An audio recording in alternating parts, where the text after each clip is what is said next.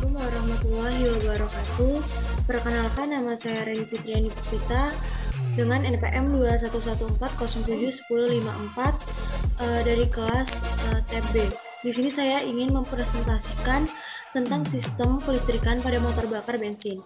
Pertama-tama yaitu pengantar. Nah, pada perkembangan ilmu pengetahuan dan teknologi yang cepat membawa dampak bagi perkembangan dunia industri, terutama pada industri daya dan mesin. Mengingat kebutuhan daya yang terus meningkat dan perkembangan motor bakar yang sedemikian pesat, para produsen mesin kini berlomba-lomba menampilkan mesin baru dengan berbagai keunggulan baik dari segi desain maupun keunggulan teknologinya. Mesin sendiri terdiri dari berbagai komponen yang kerjanya saling terkait satu sama lain. Beberapa sistem yang merupakan komponen vital atau penting dalam mesin di antaranya sistem bakar, sistem bahan bakar. Uh, yang antaranya yaitu sistem pengisian, sistem pengapian, sistem pelumasan, dan sistem pendinginan. Komponen-komponen tersebut dari waktu ke waktu mengalami perkembangan yang tujuannya untuk mendapatkan komponen yang lebih praktis dan efisien. Pada dasarnya campuran bahan bakar dan udara yang masuk ke dalam ruang bakar harus dipicu. Pemicunya yaitu merupakan salah satu komponen yang mengalami perkembangan pesat dalam dunia permesinan, khususnya pada mesin bensin yaitu pada komponen sistem pengapian. Perkembangan sistem pengapian listrik secara singkat adalah mulai dari sistem pengapian konvensional, lalu semi transistor, full transistor, IIA atau integrated ignition assembly dan dan yang terbaru adalah DLI distribusi less ignition. Kemudian rumusan masalah. Di sini saya akan membahas tentang bagaimana sistem kelistrikan yang ada pada motor bensin, apa fungsi utama dari sistem kelistrikan pada motor bensin, bagaimana sistem kelistrikan menggunakan platina dan CDI, kemudian komponen, komponen apa saja dari sistem kelistrikan pada motor bensin. Apa saja kelistrikan yang ada pada motor berbahan bensin?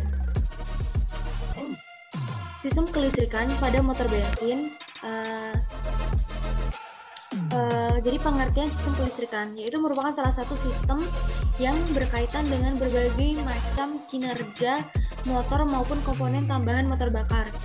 Uh, jadi uh, sistem kelistrikan ini berkaitan atau berhubungan dengan berbagai macam kinerja motor atau komponen tambahan dari motor bakar tersebut. Sistem kelistrikan pada motor bakar berasal dari generator yang diputar oleh energi dari putaran mesin. Di sini uh, ada contoh gambar sistem kelistrikan motor bakar bensin. Nah, di sini terdiri dari kunci kontak, kumparan pengapian, CDI unit, generator pulsa, alternator, regulator. Nah, di sini ada uh, petunjuk atau keterangannya yaitu BL itu untuk uh, black, BU itu untuk blue dan white itu untuk eh W itu untuk white. Kemudian fungsi utama sistem kelistrikan yang ada pada motor bensin. Sistem kelistrikan pada motor bakar bensin torak atau mesin terutama digunakan untuk satu itu menghidupkan motor. Nah di sini contoh dari uh, eh, contoh gambar dari menghidupkan motor.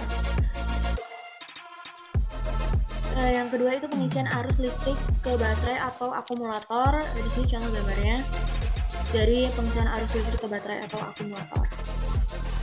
Macam-macam sistem kelistrikan yang ada pada motor bensin, yaitu ada sistem pengapian, sistem pengisian, sistem penerangan, sistem indikator, dan juga sistem electric starter.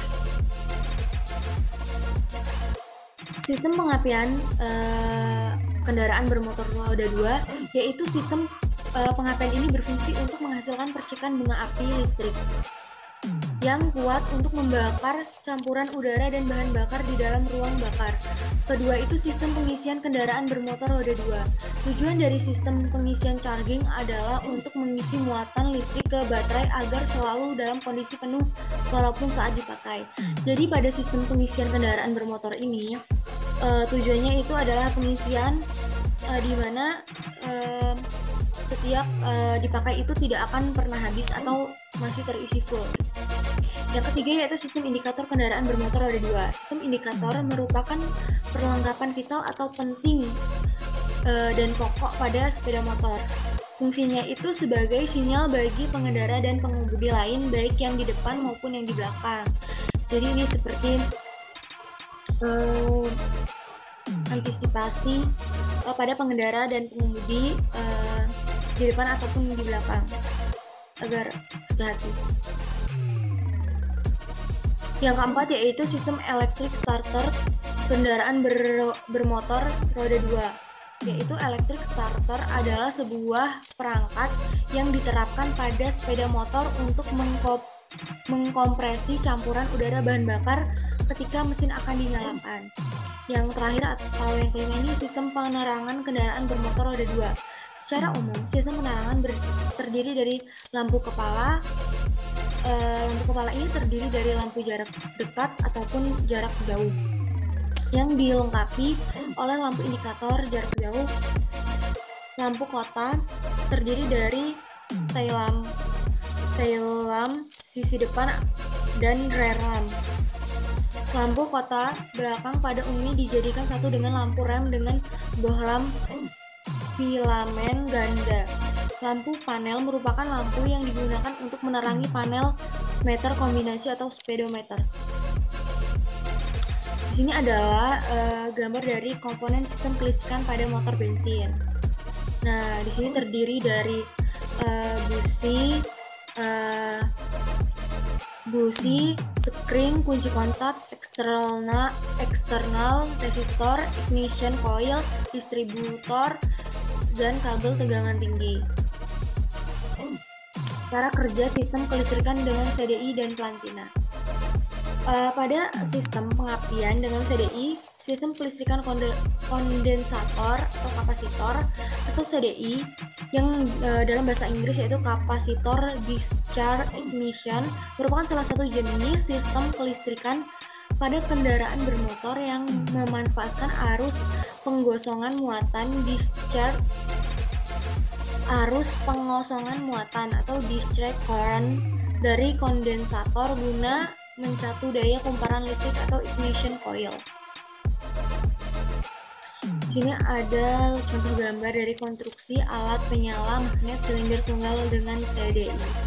Uh, terdiri dari yoke, magnet, roda gaya, stator, kumparan stator, kumparan pengisi, kondensor, kumparan primer, kumparan sekunder, busi, kumparan pengapian, unit CDI, magnet CDI, uh, magnet sensor, kumparan sensor. Uh, yang kedua itu cara kerja sistem kelistrikan dengan platina. Platina sebagai plat kontak uh, untuk menghubungkan dan memutuskan aliran listrik primer coil supaya terjadi induksi GGL pada sekunder yang uh, berupa listrik tegangan tinggi guna mensuplai busi uh, supaya memercikan bunga api.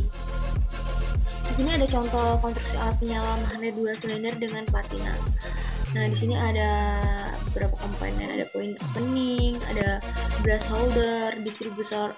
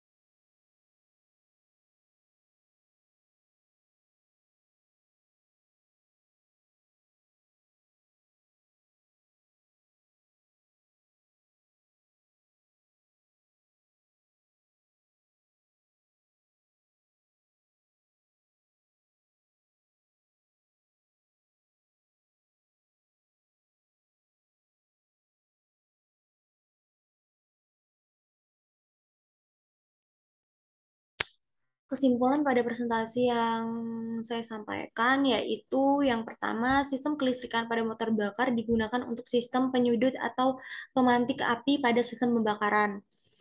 Nah, yang kedua yaitu CDI dan platina adalah suatu alat yang digunakan pada mesin untuk pengapian. Maksudnya eh, dalam pengapian ini untuk mengatur mengeluarkan api. Nah, pada saat piston di atas atau TMA, titik mati atas, besi akan membersihkan bunga api uh, guna mengatur hal ini digunakan platina atau CDI. Fungsi utama dari sistem pelistrikan pada motor bakar, torak, atau mesin terutama digunakan untuk menghidupkan motor uh, dan pengisian arus listrik ke baterai atau akumulator. Jadi uh, fungsi utama dari pelistrikan pada motor bakar ini untuk menghidupkan motor dan uh, pengisian arus listrik ke baterai atau akumulator. Dan sistem uh, kelistrikan pada kendaraan bermotor roda dua adalah sistem pengapian, sistem pengisian, sistem penerangan, sistem indikator, sistem electric starter.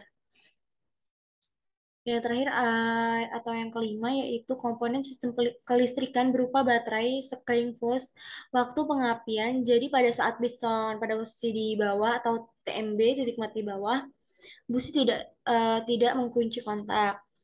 Lalu eksternal resistor, ignition coil, distributor, busi, kabel tegangan tinggi. Uh, sekian yang dapat saya uh, presentasi yang uh, saya sampaikan. Uh, selebihnya saya mohon maaf jika ada kesalahan kata. Kepada Allah saya mohon ampun. Uh, sekian. Wassalamualaikum warahmatullahi wabarakatuh.